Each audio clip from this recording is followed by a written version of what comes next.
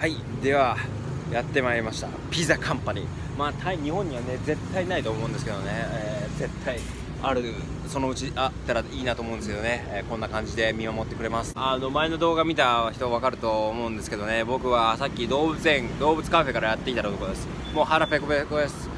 行きましょう。そうするの方がでかいですね。これあるけどね。肉とか。これじゃなくてこれが一番美味しいんだけどね。まあ節約ってことではいペプシーと思わせといて、えー、水。水です。水です。このねなんかスパイスみたいなやつがいいんだよね。ケチャップ最近まであっちのねカウンターにあったんだけどね。曲がいいね曲が。おかしいですね。全然来ないですね。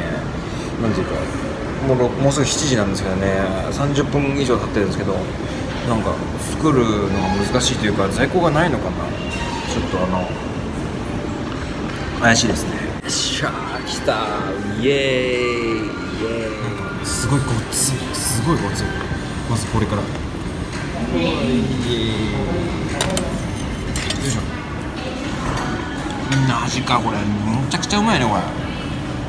ソーセージちゃんと入ってんのパイナップルもねパイナップル。うん。マジかうますぎるわ何なんだろうねこれ。厚みかな？厚みが違う。ソーセージがやっぱりうまいな。やっぱソーセージ大好きだ僕は。なんなんだろうな。シャリンっていうかパキンとくる。パキンと。うそもう終わりだ。もうなくなっちゃった。マジか。もう全然もう全然腹膨れてないのにな。こういうもんを一生食べていきたい。美味しいもん食べるために生きていく。最高食べきりました。もうなんかいっぱい食べちゃったね本当いやー本当に良かった。もうすごい素晴らしい一日だった。もう本当に動画では撮ってないけど実はマッサージも行って。今日は本当に本当にもうなんかバンコク以来幸せな日です。